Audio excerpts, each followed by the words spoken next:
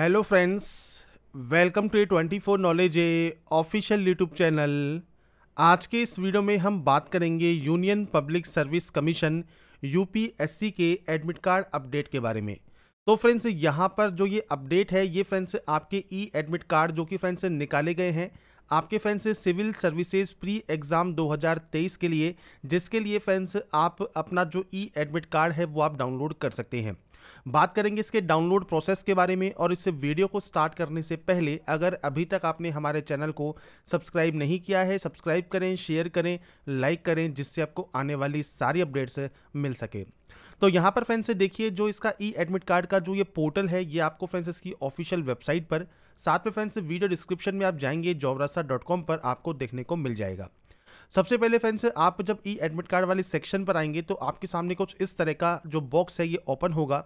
यहाँ पर देखिए आपको सिविल सर्विसेज़ प्री एग्ज़ाम 2023 के लिए दो ऑप्शन मिलते हैं, रजिस्ट्रेशन आईडी या फ्रेंड्स रोल नंबर। अगर आपके पास रोल नंबर आ गया है तो ही आप इस ऑप्शन को टिक करें। बाकी आप रजिस्ट्रेशन नंबर वाले ऑप्शन पर टिक कर सकते हैं और अपने जो एडमिट कार्ड है, उसको डाउनलोड कर सकते हैं। रजिस्ट्रेशन आईडी भूल गए हैं तो फॉरगेट रजिस्ट्रेशन आईडी पर क्लिक कीजिए। आपको आपका नाम यहाँ पर देना है, फादर नेम देना है, डेट ऑफ़ बर्थ और ये कैप्चा कोड डालकर फ्रेंड्स आपको यहाँ से सबमिट कर लेना है। और फ्रेंड्स रजिस्ट्रेशन नंबर मिलने के बाद अपना registration number date of birth और एक कैप्चा कोड डालकर आप सबमिट यहाँ से कर देंगे। सबमिट करने के बाद फ्रेंड्स आपके सामने देखिए आपका जो फ्रेंड्स सिविल सेवा प्रारंभिक परीक्षा 2023 का जो pre exam e call letter है, ये आपके सामने ओपन हो जाएगा। यहाँ पर आने के बाद फ्रेंड्स आपको देखिए सबसे पहले मिलता है डेट ऑफ़ एग्ज़ाम जो कि 28 मई 2023 है। आपको फ्रेंड्स आपका नाम, आपका रोल नंबर आपका फ़ोटो आईडी कार्ड आपका फादर नेम मदर नेम और आपको सेंटर यहाँ पर मिल जाता है। इसके बाद फ्रेंड्स आप नीचे आते हैं, आपका परीक्षा का स्थान आप देख सकते हैं। इसके बाद फ्रेंड्स समय सारणी में आपको देखिए paper one and paper two के लिए जो टाइमिंग है, वो आपको मिल जाती है।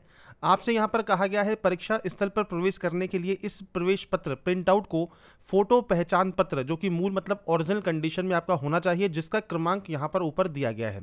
साथ में ब्लैक पेन आपको लेके जाना है इस ई प्रवेश पत्र के साथ। और जो भी आपको टाइमिंग मिलती है, उससे 10 मिनट पहले आपको फ्रेंड्स जो है, उससे कम से कम पहले पहुँच जाना होगा, क्योंकि उसके बाद आपका जो परीक्षा सेंटर है, उस पर जो गेट है, वो आपका बंद कर दिया जाएगा। आपको एंट्री नहीं दी जाएगी, ये चीज़ आपको ध्यान रखनी होगी। इसके बाद देखिए फ्रेंड्स यहाँ पर ई प्रवेश पत्र को सावधानी पूर्वक जाँच कर ले। कोई भी अगर गलती है तो तत्काल संघ लोक सेवा आयोग के ध्यान में इसको लेके आए। आपके फ्रेंड्स जो भी रजिस्ट्रेशन आईडी है, परीक्षा का नाम, वर्ष है, वो चेक कर ले। आपका जो भी फ्रेंड्स आईडी प्रूफ आपको मेंशन किया गया है, वो आईडी प्रूफ आप लेके जाएँगे ओरिजिनल कंडीशन में और इस ई प्रवेश पत्र को आप लेके जाएँगे।